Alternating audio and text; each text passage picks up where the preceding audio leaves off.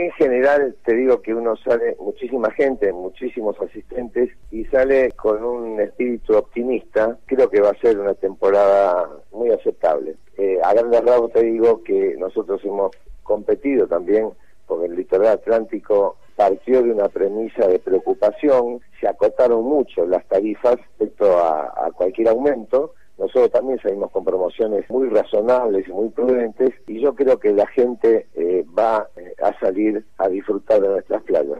Es un temita largo para tratar, que beneficia entre comillas. Evidentemente tenemos que lograr gente en noviembre, diciembre o octubre. Ya eh, la premisa nosotros en nuestro interior, toda la costa, pero vamos a decir principalmente nuestra asociación, cómo podemos hacer con turismo estudiantil primario, cómo podemos hacer con tercera edad. Si nosotros lográramos noviembre diciembre, marzo y abril, dedicando, aunque sea a promociones a precios muy especiales y, por supuesto trabajar en enero y febrero a una tarifa normal, cambia la mano totalmente en nuestro partido de la costa, así como le pasó o sucedió en Termas, que lograron, con apoyatura del gobierno, del municipio, tener, ahora está impuesto Termas turismo todo el año, pero de verdad, ¿eh? en enero, febrero hay gente que está yendo, por ejemplo, el primer all inclusive eh, del país que fue el Hotel Los Pinos, este, muy bueno, ¿quién podía soñar que en diciembre, enero iban a trabajar hoteles de determinado nivel porque tiene que tener una cantidad de prestaciones donde todo se puede hacer ahí adentro por el gran calor que hay, ¿no? Nosotros tenemos que lograr